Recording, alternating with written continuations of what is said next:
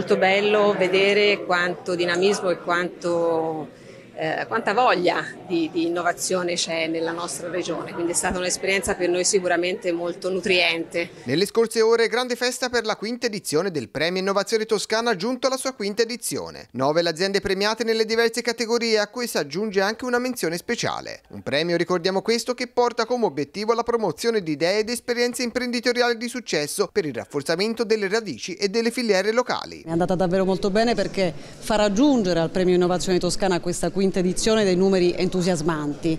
con i quali abbiamo portato alla luce oltre 270 progetti in 5 edizioni, abbiamo premiato 45 imprese e start-up innovative, abbiamo coinvolto all'interno di 5 commissioni di elevato livello che hanno giudicato i progetti oltre 30 giudici tra Accademia e Industria. Un'edizione davvero entusiasmante che ha portato alla luce progetti di estrema qualità e soprattutto di importanza per il futuro, che è un futuro incerto in questo momento, e progetti che vedono al loro interno tematiche straordinarie come l'innovazione, la digitalizzazione, la tecnologia e soprattutto la transizione ecologica ed energetica che quindi rendono l'idea di quanto la Toscana sia capace di essere terra di innovazione dove l'innovazione davvero può attecchire e crescere e svilupparsi. Da citare che nella categoria Premio Transizione Ecologica ed Energetica ha vinto il progetto della Moibus SRL di Livorno davanti a quello dell'Antiche Mura SRL di Empoli. Il progetto con cui abbiamo partecipato sono i dentifrici in compressa, sono un nuovo approccio alla detersione diciamo, dei, dei denti perché sono dentifrici senza acqua, waterless.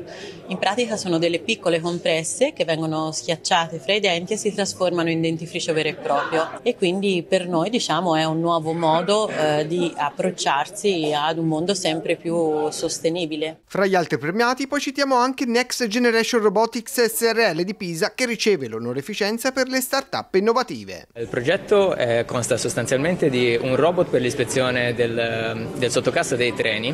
quindi ispezione remota, è possibile effettuare questa ispezione tramite questo dispositivo senza la necessità di binari sopraelevati quindi di portare il treno negli impianti di manutenzione. Il robot può andare su qualsiasi binario e effettuare l'ispezione digitalizzando tutto il materiale visionato e poi è in grado chiaramente tramite il sistema di intelligenza artificiale andare a rilevare potenziali guasti e muoversi quindi verso un tipo di manutenzione predittiva. Un premio questo dedicato all'innovazione toscana voluto, afferma il presidente del Consiglio regionale Mazzeo. Una di quelle iniziative da ripetere, eh, mandare un messaggio forte, potente alle ragazze e ai ragazzi eh, che noi ci siamo, che la regione cammina al loro fianco, al fianco di chi scommette sul futuro, a fianco di chi costruisce innovazione. Lo vado ripetendo da un po' di tempo. Noi viviamo in una regione dalla bellezza unica, di arte, di storia, di cultura, le cui radici profonde la rendono una delle regioni più belle al mondo,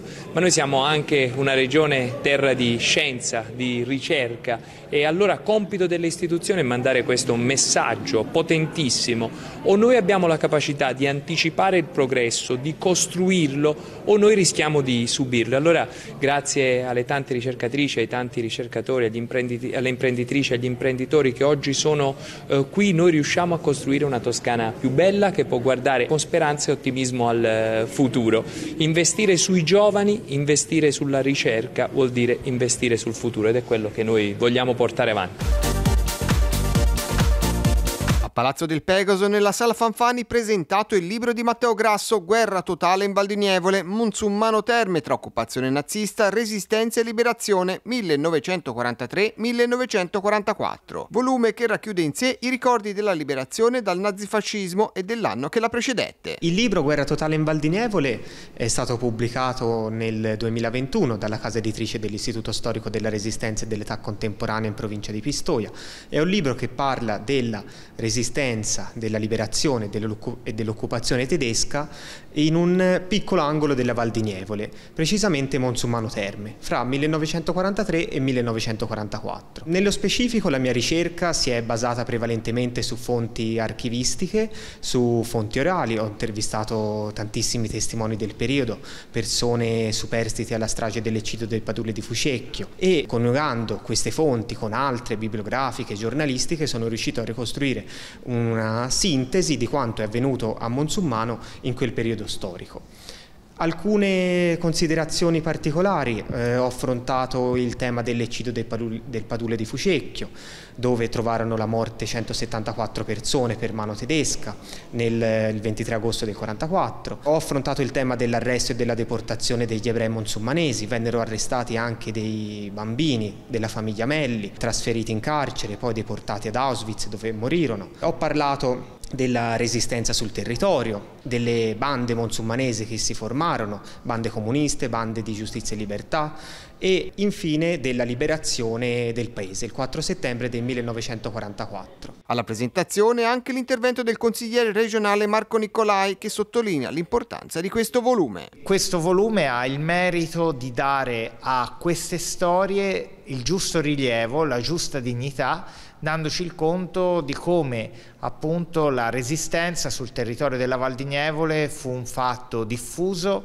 e che dette eh, seguito anche a tutta una serie di azioni che portarono poi successivamente alla liberazione del nostro territorio. Quindi grazie a Matteo Grasso per questo lavoro così approfondito e che dà la possibilità appunto di conoscere pagine di storia locale e non solo che finora non erano ancora conosciute.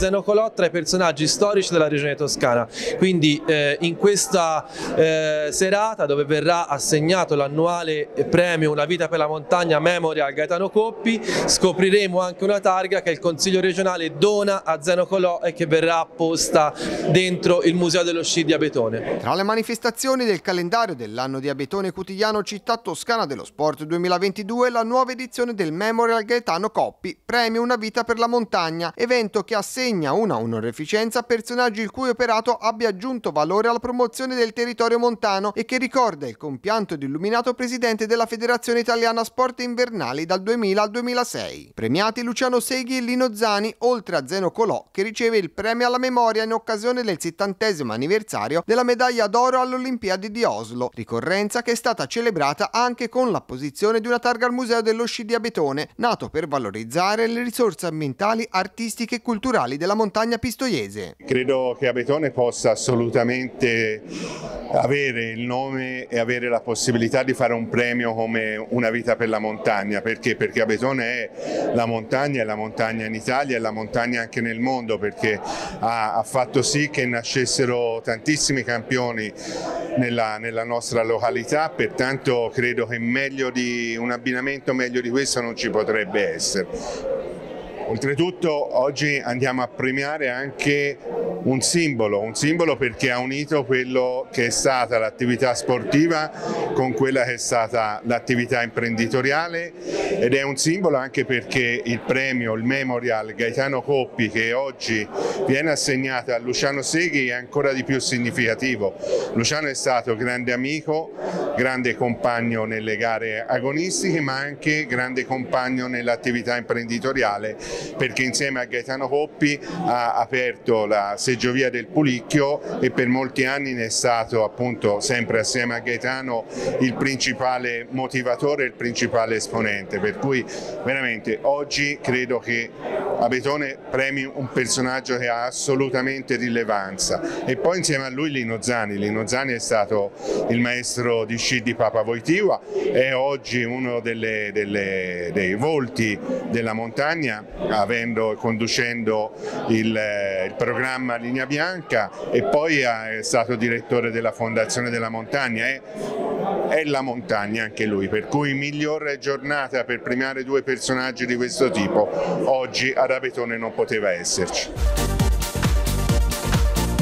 In Consiglio regionale la consueta conferenza per gli scambi di auguri di buone feste è stata occasione di parlare dell'anno appena trascorso, ecco quanto affermato dal Presidente del Consiglio regionale della Toscana Antonio Mazzeo. È stato un anno come per tante famiglie, tanti cittadini, un anno di luci e di ombre, è stato l'anno in cui pian piano stiamo provando a uscire da, dalla pandemia che ha segnato la vita di ciascuno di noi, ma è stato anche l'anno purtroppo in cui è scoppiata questa terribile guerra in Ucraina che ha segnato la vita di tante donne e di tanti uomini. Però è stato anche un anno in cui ci siamo presi il compito di cercare di ripartire, i problemi aperti sono tanti, penso eh, alla questione legata al caro bollette, penso eh, alle tante, troppe morti sul lavoro che ancora oggi scuotono le nostre coscienze, penso alla necessità di offrire più diritti a chi oggi non, non ne ha, dare più voce a chi ha meno, meno voce. Insomma, da parte nostra l'impegno di cercare di lavorare eh, nella direzione di mettere mettere in campo come abbiamo fatto anche in quest'anno perché insomma a me piace ricordare due o tre eh, leggi tra tutte eh, la legge che ha istituito lo psicologo di base. È nata dall'esperienza di questi anni molto complicati